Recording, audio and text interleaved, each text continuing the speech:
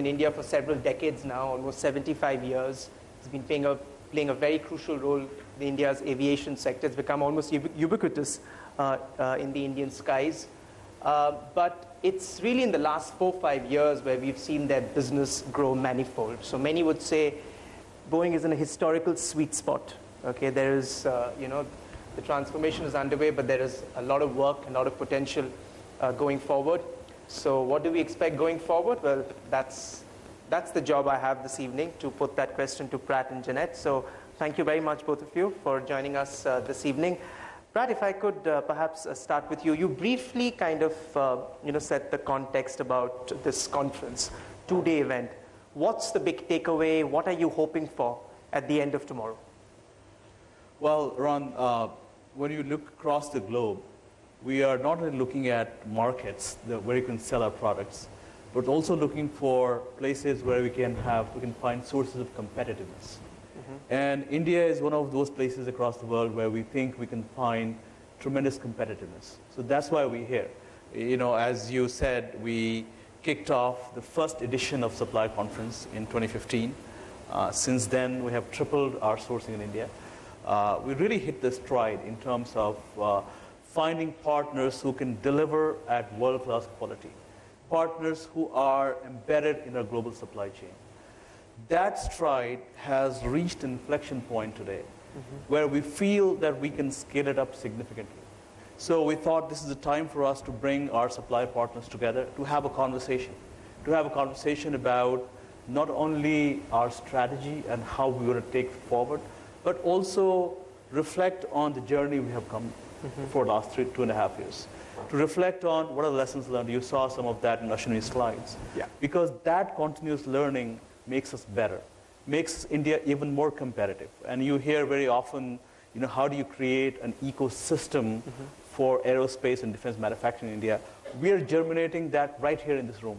Absolutely. So, so that's why we're here to really kind of hit the inflection point and really take off from the knee and take off to the future where India truly becomes an integral part of the global aerospace and defense supply chain. Well, that's a great uh, statement to start uh, the proceedings, Pratt. There are over 100 suppliers, I'm told, in this room.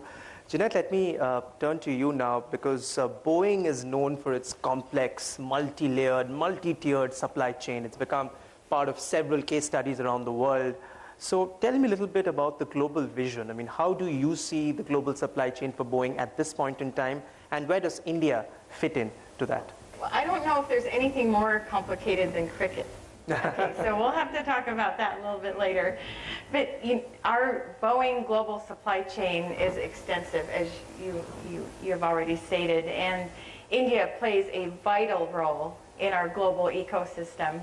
And I think most important for me, and I've only had the privilege of visiting many of your factories a couple of times to this country, and I think there's a great amount of talent uh, but your vital role is really because of the potential that we see in this country.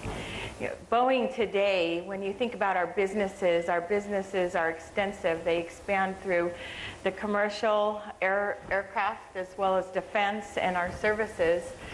And I, you know, we certainly thank you for your partnership. But when I walk through the factories and I see your people and the strategy that you have so clearly laid out, make in India, upskill, and also to uh, you know design and start up mm-hmm. in India.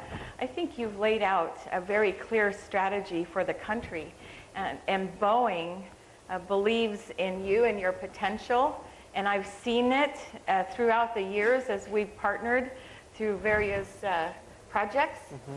And I think there, there's more potential going forward. So vital partner in our global ecosystem. Vital partner in your global ecosystem. You mentioned the defense business also. I was speaking to somebody in Boeing and they mentioned that uh, in the last eight, nine years, the overall business side has grown up to 12, 13 billion dollars for Boeing, and that's, you know, that's a remarkable growth. But before I go back to Pratt, uh, you know, Jenette, uh, you know, considering that it's, you know, your supply chain, you're sourcing from over 100 countries uh, around the world, it would, it would also uh, sort of work because as part of your hedging strategy, right? Because you want to sort of, you know, diversify your, your risks so that if there is any issue in one country, you have other countries to fill up that. So talk to me about the strategic rationale behind this massive diversification sourcing. Well, certainly. I, you know, as, as we've been throughout uh, the world, and, and I'd like to thank my team for being here today. I think uh, having as many Boeing people here in the room today, hopefully for all of you as potential suppliers, displays our sense of commitment to the potential that's here in the country. And so I think that, uh, you know, the Boeing company, um, we find that the collaboration, the innovation can lead to accelerating further uh, potential suppliers. And uh, I've given several presentations where I've talked about diversity of our supply chain, the diversity of thought.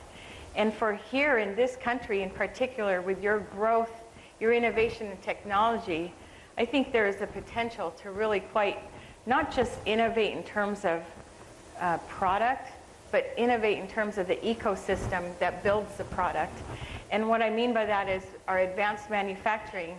Yeah. And we spoke of this a little bit earlier about what does advanced manufacturing actually mean? And clarifying that uh, with each other, I think is critical. So it's not just about the machine or the equipment. It's how we build it together, the digital layer, the sensoring technology that's uh, currently being installed.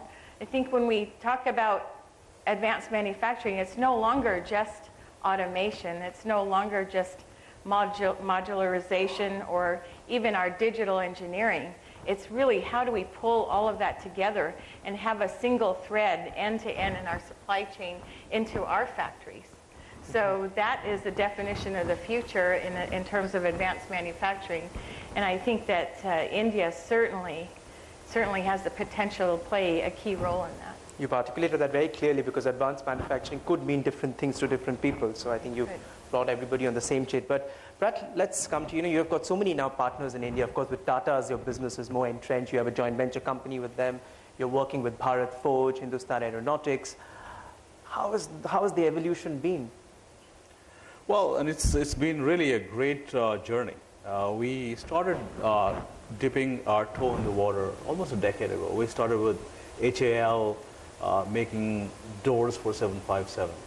But it was at a low burn rate. We really, really spe- sped up our, our involvement and accelerated this really in the last three to four years. You know, so if you look at it last four years, we have quadrupled our source in India. So you can see the acceleration happening then. And really, uh, the driving force behind that is readiness of uh, industrial base in India.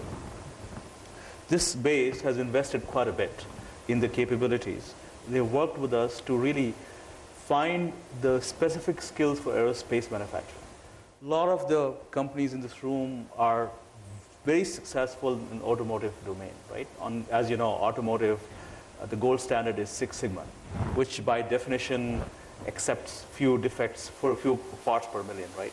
So there is a little bit of a uh, journey to make from automotive aerospace space. Uh, so it looks like a, uh, you know small step from automotive to aerospace, but actually it's a giant leap It's a giant leap. right? So it requires a huge amount of uh, cultural transformation.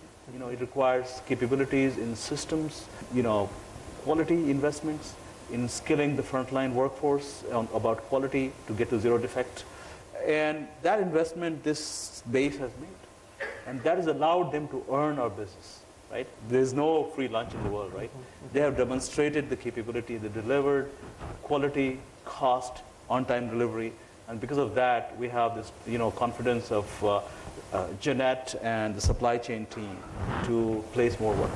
In a sense, you've preempted my question because, uh, you know, traditionally the aerospace has been the domain of the public sector enterprises. It's only more recently that private sector has opened up and they've had to make this massive transformation from being suppliers to automobile companies now to, you know, to, to advanced defense, advanced manufacturing. So talk to me a little about this. When you speak with them, how do you think that they manage to sort of transform and especially with the fact that there is zero tolerance for defects? How do you think when you speak with them, what, what do you take out of them? How have they managed to sort of, you know, position themselves in a way in which that they're able to bring down their defects to, to zero? Right, I think it really gets back to uh, the immense appetite for learning, right? So uh, it's, it's an acquired skill. Going from Six Sigma to zero defect manufacturing is really about your process, systems, technology, and culture. So they have worked on that systematically, and they have really co-opted our supply chain experts and subject matter experts part of the journey. So as Ashri showed some slides, you know, we have invested quite a bit in skill development, uh, and uh, our partners, our supplier partners, have invested in that by opening their shop floor because you can't, you can only do as much in classrooms. A lot of the skill development actually happens in the shop floor. Right. So they have co-invested in that.